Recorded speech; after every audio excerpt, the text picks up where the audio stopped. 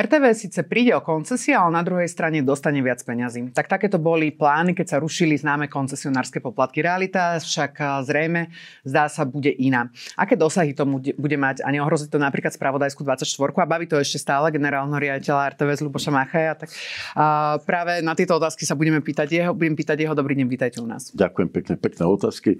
Ja musím povedať, že e, koncesie e, to bol taký vianočný darček. 22. nám to zrušili a teraz sme dostali mikulášsky darček, lebo tesne pred Mikulášom. Myslím, Na vašom mieste by som mal celkom obavy z tohto, z tohto obdobia roka. Uh, ja už začínam mať taký vianočný... vianočný Vianočnú traumu. Vianočnú traumu finančnú. No. Ale, ale baviť, tak samozrejme, že ma to baví, ja to považujem za výzvu, i keď každá výzva má svoje hranice. Ale bude to znamenať veľmi veľa. Akože uvidím ťažko povedať ešte, lebo e, myslím, že nie sú ešte vycizelované všetky veci, ktoré no. súvisia s rozpočtovaním. My určite pôjdeme do rozpočtového provizória, to vieme teraz. A ma to veľmi mrzí. Ja som teraz idem práve z porady programovej v rozhlase, kde sme hovorili a trošku sme si tak poplakali, že mali sme ten rozpočet postavený na budúci rok už teda e, rozvojový, bolo všetko nachystané, bolo to fakt, ako musím povedať, 4 mesiace pomerne rozintenzívnej práce a zo dňa na deň sme to mohli roztrhať a proste dať do koša, lebo viete, že nám rozpočet schváluje Rada RTVS a už to tam všetko bolo nachystané. No a proste takto to dopadlo. Takže pripravujeme varianty, čo sa vlastne bude diať. A čo znamená, že budete v rozpočtovom provizoriu v praxi? A... V praxi riadíme sa zákonom o rozpočtových pravidlách, to znamená, môžeme použiť jednu dvanastinu z tohto ano. ročného rozpočtu. To sa samozrejme odráta z celkového rozpočtu, takže to neznamená, lebo tých peňazí budeme mať v januári teda viacej, ale musíme pochopiteľne už aj v januári šetriť a budeme pripravovať pre radu, ktorá schváluje rozpočet a programový koncept, lebo to sú dve veci, ktoré spolu úzko súvisia. Takže budeme pre nich pripravovať nejaké varianty, ako by to mohlo vyzerať, lebo nevieme úplne presne, že kam sa môžeme dostať, je to mínus uh, skôr viac ako 50 miliónov eur, čo teda je dosť zásadný problém, takže budeme robiť nejaké varianty a budeme o tom rokovať na rade. Ako sa, kam sa dostaneme. Vy ste pred rokom povedali, zhruba pred rokom povedali, že bolo by veľmi nešťastné, keby nové rozhodnutie politických elít, to bolo, týkalo sa koncesionárskych poplatkov, a problémy ohľadom systémového financovania verejnoprávneho vysielateľa ešte prehlbilo. A čo ukázal ten prvý stred s realitou? To rozhodnutie politických elít prehlbilo? Uh a systémové no, financovanie verejnoprávneho médií? No, okamžite, keď sme teda, keď sa schvaloval, e, keď sa schvalovalo nové financovanie v polovici minulého roka, a keď teda sme dokázali e, vysvetliť e, vtedy poslancom aj vládnym činiteľom, že pôvodný návrh ministerstva financí bol aj vtedy 0,12. A ja predpokladám, že na financiách tento návrh ostal a oni si ho osvojili vlastne E, nový financmajstri naši, ale vtedy sme vlastne mesiac vysvetľovali, že to je neúnosné, že potrebujeme iný rozpočet. Vtedy vláda odsúhlasila 0,15 a v parlamente prešlo 0,17, čo bolo e, optimálne. Hovorili sme, že je to už, by som povedal, čiastočne rozvojový e, rozvojové financovanie, lebo niektorí poslanci navrhovali 0,19 a teda mrzí ma, že tí istí poslanci teraz, ktorí boli na mediálnom výbore, teda výbore pre médiá a kultúru, zahlasovali za 0,12. Takže No ale tak, tak je, taká je politická realita.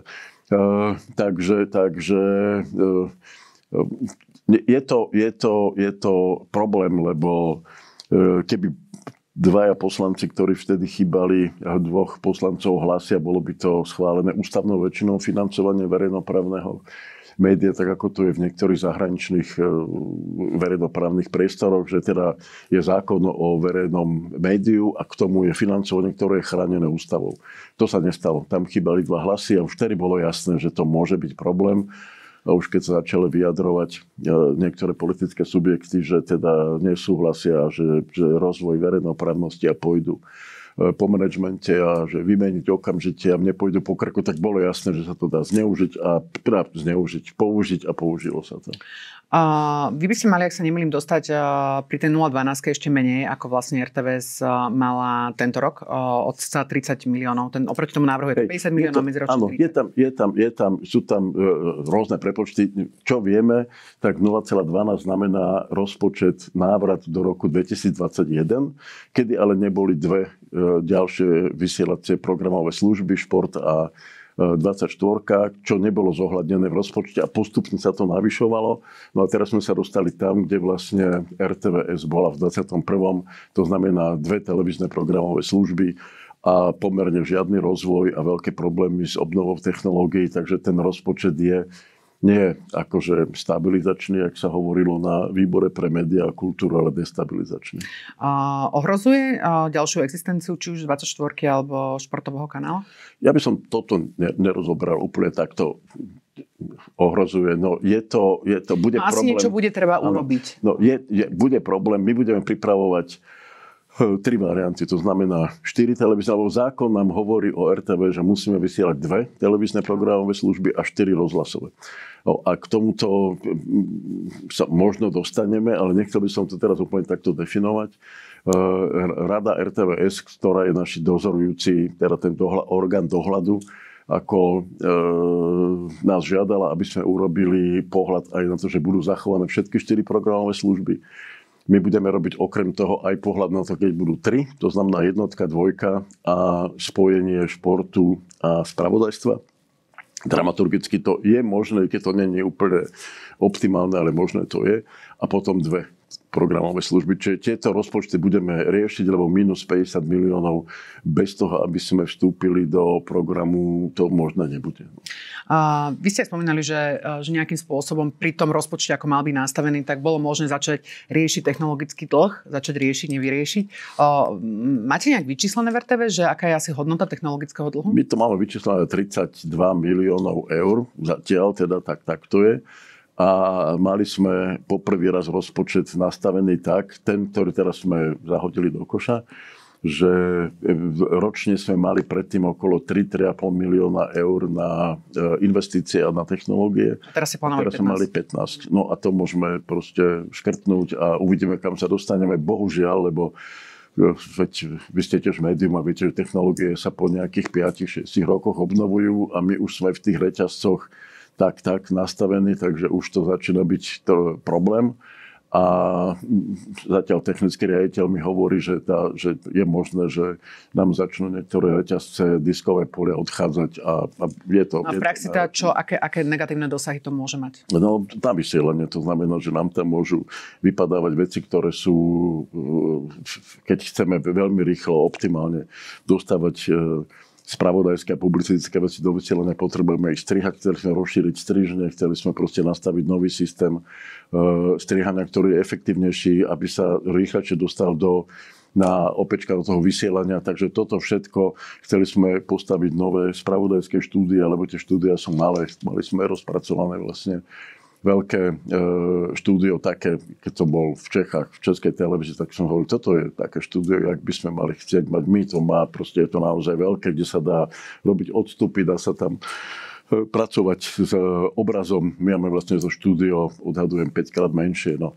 Takže je to problém. My sme chceli e, v marci postaviť nový virtuál. Uvidíme, ako to dopadne. Aj novú, novú grafiku do, do spravodajstva. E, prepočítavame to, uvidíme a chceli sme začať budúci rok stavať nové štúdio, ktoré by malo také rozmery ako máš štúdio v Českej televízii. Také ozajstné spravodajské. Keď hovoríte v marci, tak e, to znamená, že cca ste to mohli mať e, hotové na prezidentské voľby. Aspoň mi to tak vychádza. To znamená, že nejakým spôsobom to ohrozuje alebo stenšuje alebo, alebo mení vaše plány, ktoré ste mali v prípade prezidentských volieb? To myslím, že nie. Ako my budeme, samozrejme, to, čo sa týka pokrytia a našich zákonných povinností, to budeme realizovať, ale mohli byť spracované, by som povedal, modernejšie a efektnejšie. Ale ale e, isté veci sú už vlastne z tohto ročného rozpočtu verejne obstarané, takže ne, neohrozí to úplne všetko, ale ohrozí to ten ďalší rozvoj. Na druhej strane uh, bolo deklarované, alebo bol taký prísľub, že sa, že sa RTVS uvoľnia pravidlá pre uh, reklamné príjmy. A zrejme sa ale nedá uh, nedá nahradiť tých 50 miliónov. To je asi nereálne, keď sa pozrieme aj na ten je, celkovo je, televízny reklamný trh na no, Slovensku. Pre mňa to má niekoľko e, poschodí problémov a to najvyššie poschodie pre mňa, ktoré to nie je ani moc, akože financie samozrejme, ale to, že na jednej strane sa v programovom vyhlásení vlády hovorí, že najmenej 0,12%, alebo iný, e, ne, v vyhlásení sa hovorí, že rozdeliť RTVS, alebo nájsť iné možnosti na e, zvýšenie verejnoprávneho e, poslania RTVS, ale navýšenie reklamy nie je zvýšenie verejnoprávneho poslania RTVS, to je skôr Ehm, by som povedal, vybočenie z toho verejnoprávneho priestoru a orientácia sa na ten komerčný priestor, lebo zvýšenie e, reklamy v prime time úvahy o tom, že sa budú e, predelovať filmy reklamou, tak to je to, že proste sa dostaneme na, na pôdu, kde by som nechcel byť, aby sme proste bojovali o financie e, komerčným spôsobom. A, alebo sa, neviem, či to môže byť oficiálna dohoda, ale, ale možno, že aj áno. A možno, že zacítia niektoré štátne alebo verejné podniky veľkú túžbu inzerovať v RTV za vyplňa vám no, ten priestor a tým pádom to bude také komerčné, nekomerčné.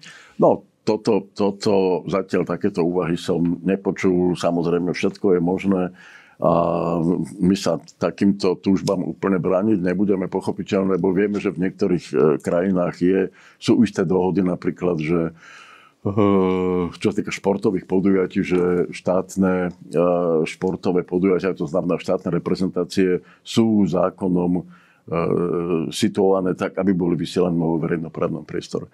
Ale toto sú veci, do ktorých ja nechcem vstupovať. A... A v, za rok 2022 boli príjmy z reklamy, ak sa nemili, 12,7 milióna eur. Kam sa podľa vás viete reálne dostať, ak by sa vám uvoľnil priestor? A aj v tom kontexte, že máte nejaký, lebo nie je to iba o tom, že sa vám uvoľní priestor, ale máte aj asi nejak nadimenzovaný tým no. obchodníkov a nejaké procesy. No, Takže... zatiaľ, čo sme my preratávali práve včera, rejiteľka médie, ktorá vlastne zastupuje eh, RTVS, predaj reklame Mirka Kittler, robila prepočet, čo by to znamenalo z hľadiska štyroch programových služieb, troch a dvoch programových služieb. Rádia sa to príliš netýka, tam sú tie príjmy okolo 2 milióny, ale to v televízii bude mať proste minimálny dosah. Akože, lebo tam ide o to, že musíte, musíte naplniť niečím ten prime time, musíte niečo ponúknuť. Keď nebude mať peniaze na výrobu, my sme boli nachystané spustiť tri seriály budúci rok, tak na to môžeme zabudnúť, budeme radi, keď sa spýtať, že či tieto nové, no, no, no, vaše, vaše plány potom definitívne končia? No, určite. Alebo... No, definitívne. Jeden určite robiť, je, áno, jeden robiť budeme určite, ale tie ostatné pff, budú, budú problémové. Mňa veľmi mrzí, že Napríklad teraz sme, videl som e, novú rozprávku, ktorú sme pripravili na Vianoce. E,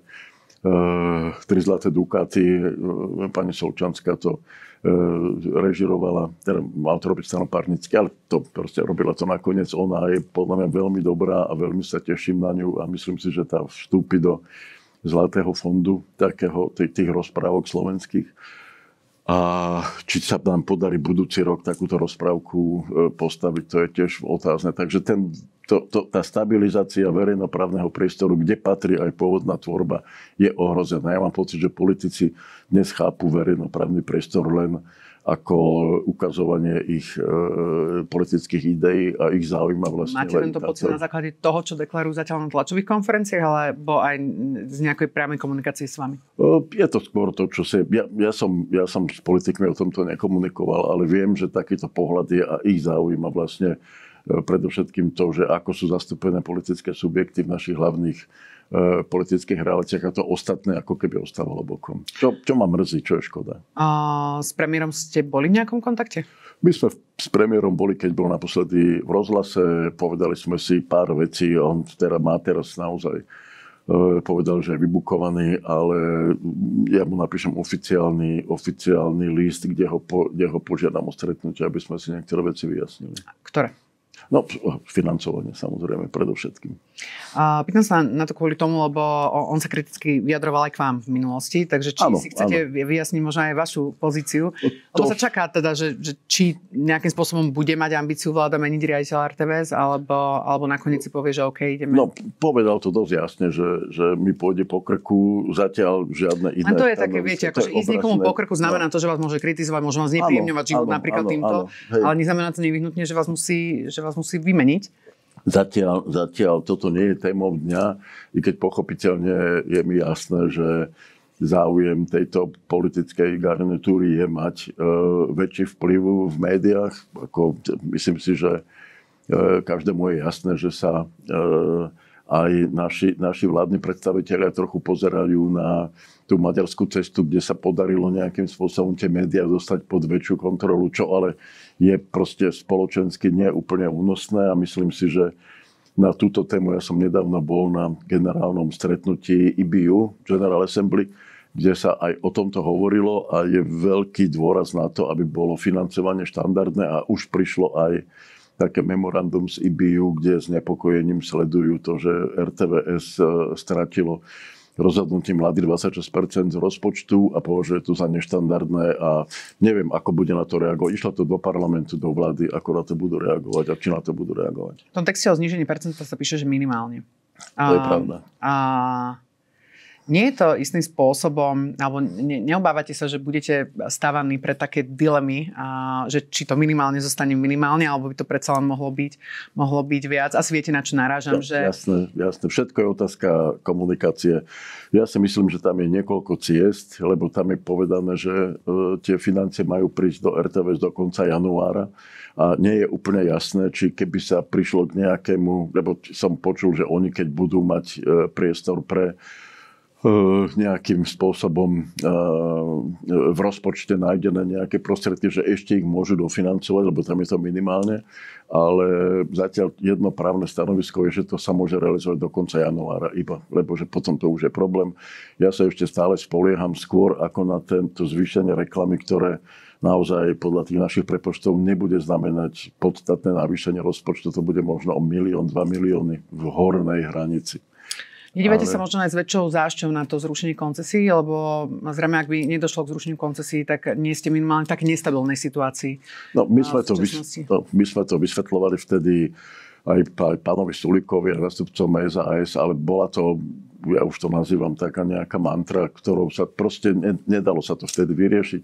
Mňa to mrzí, lebo koncesie by naozaj, aj keby boli v tomto zníženom viete, lebo vtedy nikto nechcel ísť do navýšenia koncesie. Je jasné, že tie koncesie e, na to, aby mohli sme fungovať normálne, by museli byť navýšené o 100% a vtedy by sme boli nezávislí a mohli by sme fungovať, ako by sa dalo. Aj by bol ten vzťah poslucháčov, divákov k RTVS taký priamejší. A druhou témou, o ktorej sa veľa diskutuje, alebo sa začalo diskutovať, je rozdelenie, prípadné rozdelenie RTVS znova na, na televíznu a rozhlasovú časť. A vy ste hovorili, že by to RTVS stalo zhruba 50 miliónov eur, to znamená ďalšie peniaze minus. A hovoríte o tom, že by to stalo 50 miliónov jednorázovo, alebo, alebo dlhodobo kvôli tomu, že by odišli synergie? Je to, je to, je to akože taká dlhodobá prognoza. E, my máme ten prioritný odhad na tom, že by sa tam museli eh, nadovo stavať obslužné systémy, predovšetkým v rozhlase, lebo taká, také tie hlavné servery, všetko je v televízii. Dá sa to samozrejme ako e, premigrovať tie dáta, ale treba postaviť nové, nové obslužné systémy. Treba nových ľudí, ktorí tieto systémy, to znamená aj ekonomické, aj e, programové, aj archívne, ako aby ich vybudovali. A ja si myslím, že e, v európskej, v európskej verejnoprávnom priestore v rámci IBU je tendencia spájania, akože evidentne. Proste dneska sú Spomínate všetky... na nejaký prípad, kedy práve došlo k rozpojeniu? Ani jeden. Lebo zatiaľ, ja som to presne konzultoval, ak som hovoril, som bol na IBU v Ženeve, tak som hovoril tam s predstaviteľmi, nikto sa nerozpojil. E, všetko sa spája, zo 47 mám pocit verejnoprávnych vysielateľov, len 11 je rozdelených, aj niektoré uvažujú o tom, že sa spoja, lebo je to efektívnejšie my takisto sedíme v printe, ale vysielame akože ten obraz, zvuk a písmo sa prepája čím ďalej tým viacej a podcasty, akože tá budúcnosť a online o tomto svedčia. Podľa mňa rozdeliť niečo je dneska niečo podobné ako vrátiť týmto financovaním RTVS do roku 2021, čiže spätne do histórie. A jedna vec je, že to rozpojenie určite bol problém z, pohľadu toho, toho, čo nevidí divák alebo nepočuje posluchač, čo znamená všetky presne tie obslužné veci, ktoré sú vzadu. Čo sa týka toho, ale čo vidí a čo, čo počuje, tam podľa vás došlo k nejakým reálnym problémom, lebo do akej miery je reálne úplné prepojenie obsahové rozhlasových a televíznych, či už moderátorov alebo redaktorov, lebo je to odlišná práca. No, v niečom je to možné. My napríklad na 24 vysielame aj ano. rozhlasové formáty a niektoré, napríklad teraz bola v Belehrade rozhlasová redaktorka, ktorá nám dávala informácie do televízie z volieb, ktoré boli v Srbsku. To, to prepojenie možné je. Samozrejme, že e, nikdy sa to úplne neprepojí, lebo ten, ten, ten, tá rozhlasová reč a televízna reč je iná a je to proste inak nastavené. Ale ja si myslím, že hlavné prepojenie, kde nastane a kde by malo nastať, je my sme to nazvali, že tretí pilier, to znamená okrem rozhlasov a televízie je to online. A tamto prepojenie je evidentné a tam sa... Tam, tam sa, to, to stávalo na tom, že je to vlastne Tam sa jeden... to už stáva. A, a že tým pádom aj týmto financovaním ma to mrzí, lebo uh, mali sme taký, a ten online nám teraz začal veľmi dobre, online spravodajstvo nám ide každý mesiac výrazne hore, podporuje nám aj rozhlasové, aj televízne programy a je mi to veľmi ľúto, že isté veci musíme zastaviť ako VOD platformu a AOD platformu, čo už sme mali pripravené, ale sa to nepodarí zrealizovať. A ak by teda eh, vláda napriek všetkomu, že tých výhrad eh, je zo, z mnohých strán veľa výhrad tomu, že či sa má alebo nemá rozpojiť eh, RTV za... Zatiaľ som úplne nepočula mimo vlády asi nikoho hovoriť, že áno, rozdielme to. ale ak by nakoniec povedali napriek tomu áno, ideme, ideme rozdeliť verejnoprávne médium na dve časti, podľa vás Koľko by to trvalo? Koľko času by na to bolo potrebné? Aby... Minimálne rok. Minimálne rok. To znamená, tam treba urobiť audit všetkých týchto systémov, tam treba urobiť analýzu ekonomických procesov, tam treba, my keď sme, lebo ja, ja som bol pri spájaní, no. ako v roku 2011 e, s pani Zemkovou sme vlastne boli tí, ktorí spájali e, RTVS. Bohužiaľ, vtedy takisto e, ten proces bol veľmi rýchly, neboli vyslyšané naše predstavy, že by to mal byť proces, ktorý by bol dlhodobejší a v Slovensku sa spájali dva roky. No, proste to není tak jednoduché. A boli nejaké Takže... veci, kde si vy cítili a naozaj v praxi a možno, že sú nejaké veci, ktoré pretrvávajú aj doteraz, práve kvôli tomu, že to bolo spojené tak, ako to bolo spojené? Áno, je tam ten, ten, ten taký určitý, také určité napätie medzi rozhlasom a televíziou bol a je, ale ja som v tomto taký trošku optimista. Zasa mi, že sa niektoré veci podarilo uh, eliminovať a je pravdou, že ten rozhlas má pocit, že televízia je nazvem to silnejší súrodenec a že strháva na seba väčšiu pozornosť a je drahší. No, tak je výroba rozhlasovej hry stojí maximálne 50 tisíc a výroba e, televízneho filmu jednej časti stojí okolo 500 tisíc. No, takže ten rozdiel tam je evidentný. Je tá televízia proste silnejšie médium, takže, takže e, rozhlasáci mali tento pocit, ale by sme sa snažili, aby, aby sa tieto, tieto rozdiely aj pri, bola valorizácia v marci a rozhlas dostal, e, ľudia v rozhlasu dostali vyššiu valorizáciu ako v televízii. A vy si neplánovali náhodou aj v rámci toho rozpočtu, ktorý už asi teda nebude nejaké zásadnejšie investície práve aj do rozhlasu? Áno, tak mi, bolo, to, bolo, to, bolo to z tých 15 miliónov, moja požiadavka bola by 25% smerovala do rozhlasu, mali sa obnovovať štúdia, Veľké koncertné štúdio sa mala režia obnovovať, mali sa obnovovať štúdia v Bystrici, v Košiciach, ktoré už čiastočne sú, mali sa niektoré vysielacie štúdia obnovovať, mal sa nakupovať nový dorozumievací systém a mnohé ďalšie veci. Áno, 20% malo byť pre, pre rozhlas. Budem citovať teraz Andrea Danka, ten citát nie je taký starý.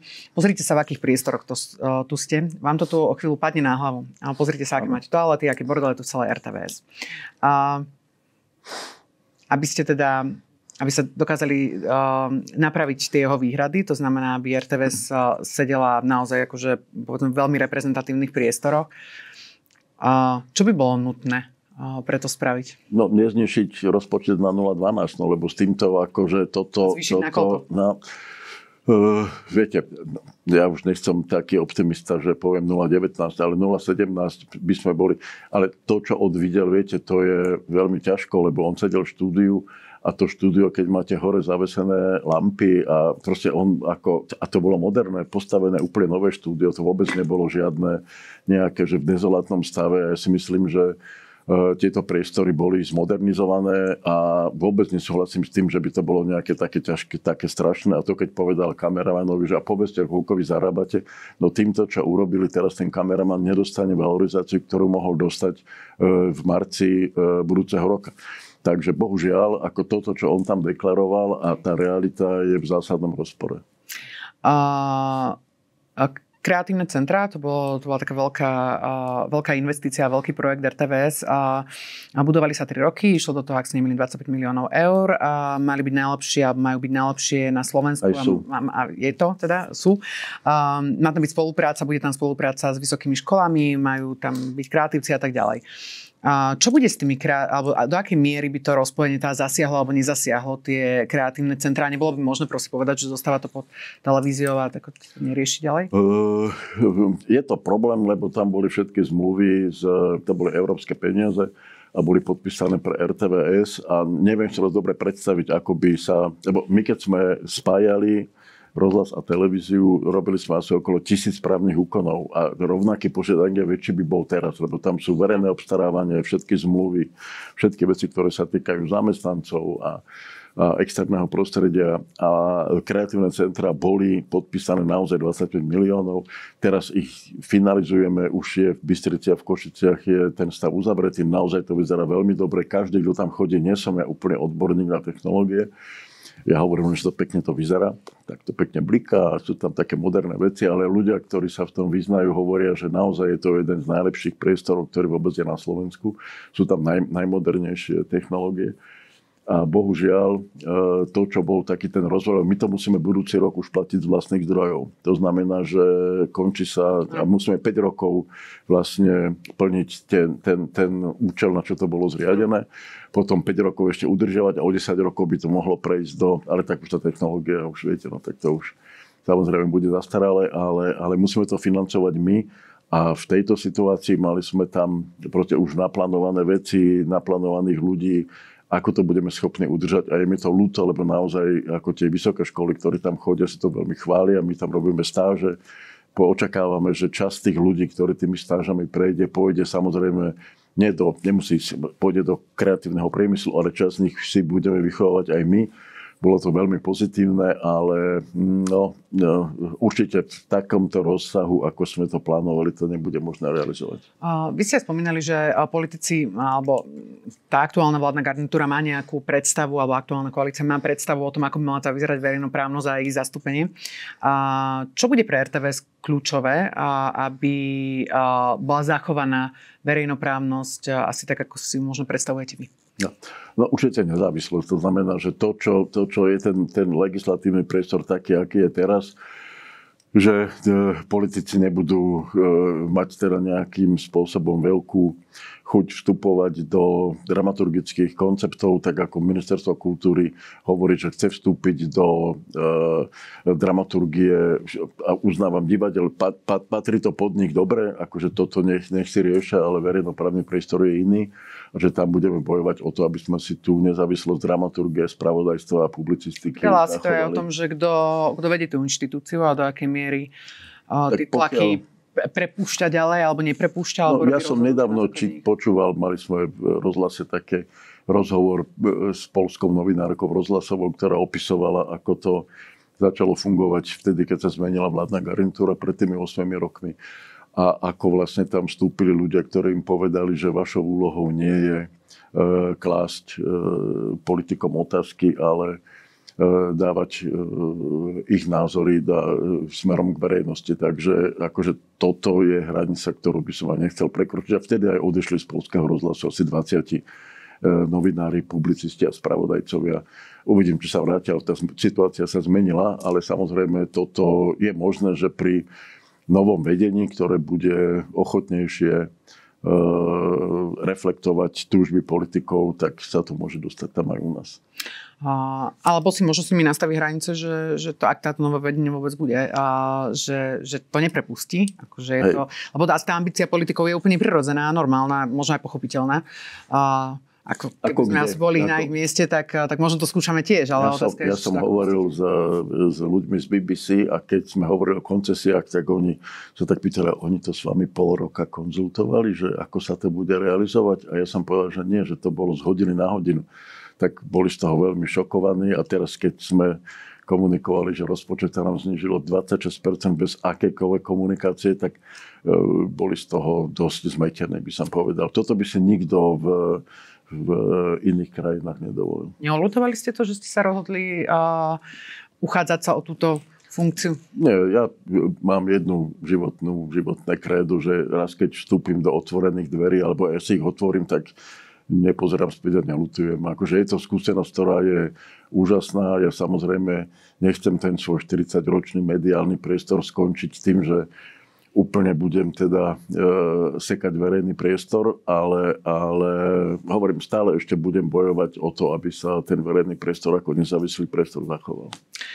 Tak uh, veríme, že sa uh, verejnoprávny priestor ako taký zachová a, a, a že RTVS bude mať dostatok zdrojov na to, aby, aby možno dokázala uh, sa zlepšovať uh, aj technologicky, čo možno v prvom momente nie je vidno, ale uh, určite je to dôležité.